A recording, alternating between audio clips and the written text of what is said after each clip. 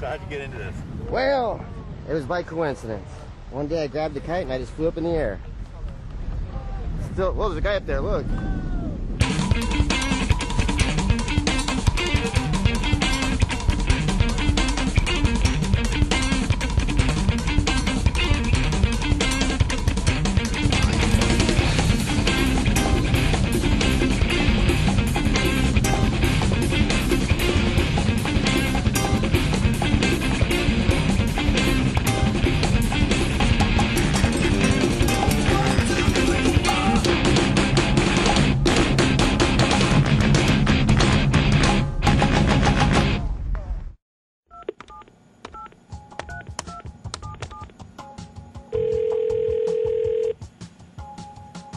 Hey, Eric. Hey, how's it going? Darren Porter. Yeah. How's it going, man? Let me get this thing in front of me. It looks like you did you had you just come in? Yeah, I just came in from that first heat, stepped on the beach, like set my board down, Yeah. and that gust hit, and then that's like when I fly over, you know. And uh, ironically, Top Hat says, So how'd you get into this? Well, it was by coincidence. One day I grabbed the kite and I just flew up in the air. Still, well, there's a guy up there, look. "What happened right there?" There's a kite or lines in front of me, and I jumped up in the air over that. Uh-huh. I went up to about five feet and hung there for a second, and then just got, you know, picked up off, you know, went off the beach above in the Napaka, and that's probably where I was flying by, top hat. When you look at the clouds behind you, they just look crazy. Like something's going on up there. Yeah, there's definitely a black cloud kind of above us there, and I've talked to some of the paragliders, and I think that was probably causing that updraft also, or aiding it. Right. I'd unhooked, and I was going to let go, and then I hooked back in because I kept going up.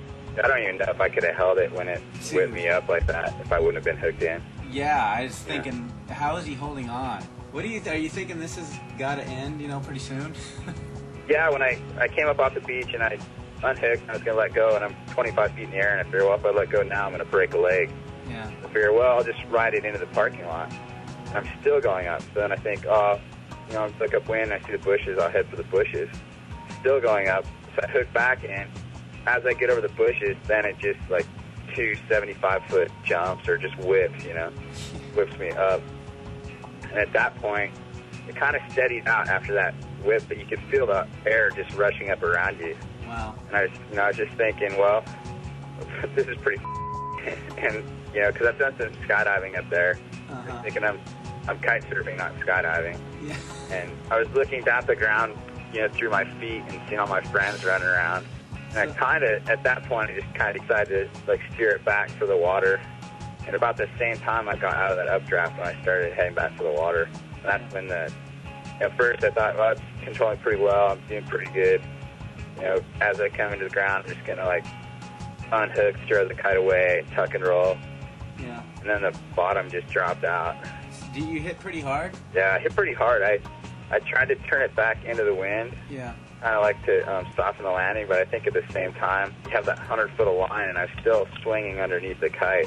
Yeah. I think that's when I hit the ground. Yeah, I hit pretty hard, hit on my, like, rolled over on my right side, and then the kite powered back up and flipped me up over onto my left side. And then uh, a couple of guys ran up and unhooked it. Pretty sore for quite a while, but I didn't actually break anything. It was definitely, like, when I got up there, I was just, I got up and I was pretty much like, you know, I'm probably going to die. No, I don't think anybody will, has has seen anything like this or will see anything like this ever again. I, I think that was the thing, too, because nobody ever thought it could happen, like, in the beginning. So, are, are you closer to God now? Uh, it definitely makes you think, you know. But I'm pretty lucky overall. I'll say. Could have been a lot worse, obviously. That's amazing. You know that that's got to be an unofficial record because it's probably 38 seconds. Yeah, so I figured like at 39. Pretty weird. So, are you still kiting now? Still cutting a lot now. You know, every chance I get. Just uh, a lot more conscious of the weather conditions. Yeah. Yeah. Well, all right, man. Well, thanks for thanks for your time. All right, sounds good. All right, Eric. Thanks. Okay. See you. Bye.